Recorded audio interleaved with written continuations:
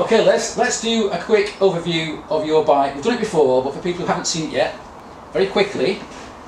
As far as I know, this started out life as a Kawasaki Z1000 Mark ah, II, Correct. 78, 78, 79. 79, and since then it's been changed just a wee bit. So very quickly, let's see what's different about it. It's been monoshocks at the back. Yes. So what's that from? Is that a R1. R1? The front forks are also from a Yamaha.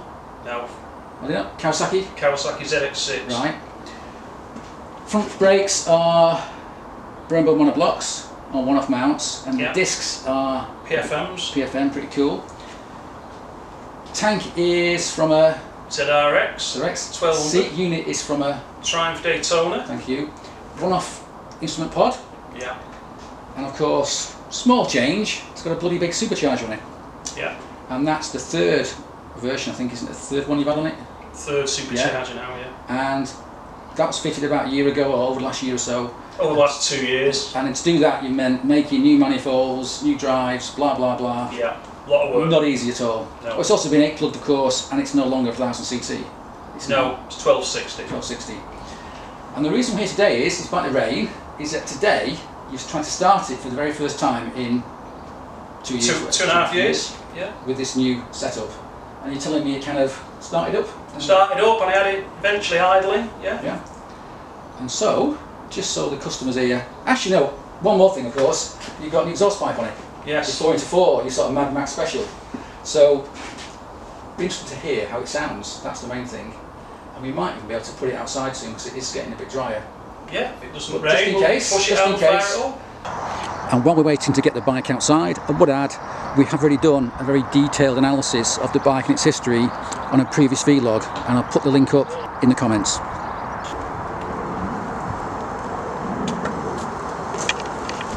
Right, here it is. Yeah, okay, so shall we try and start it? I'll stand back in case it's going to blow my ears out. If the battery's up to it, Uh, well, we can only try, we can only try. So I've knitted this bike. Here we go.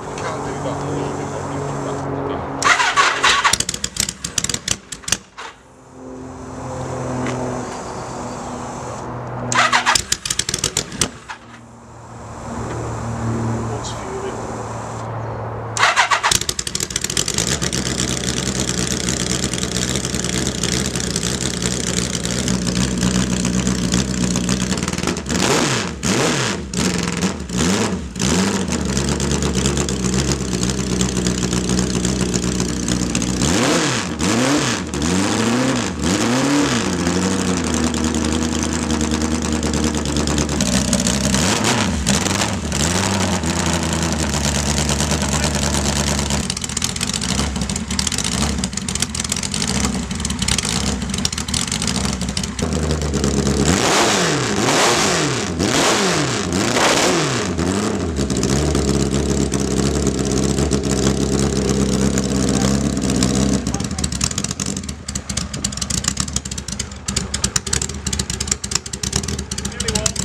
Yeah.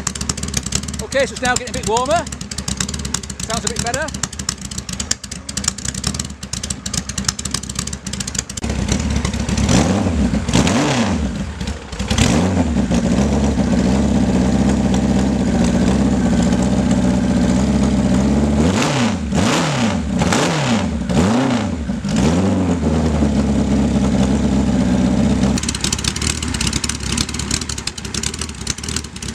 Okay, Les, so it runs.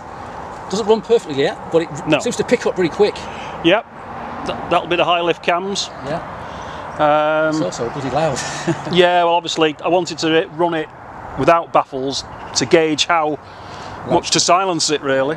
Um, so what's next then? You're saying next is is fueling.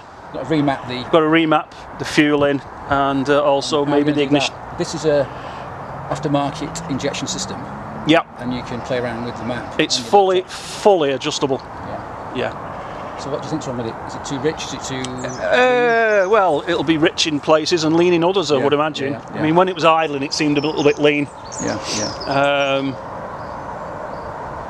so the next thing is to is to get it all fueled up.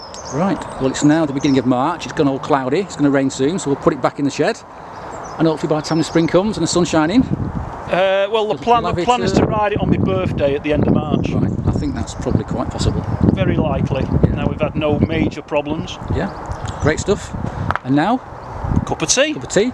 And with that, thanks for watching and cheers.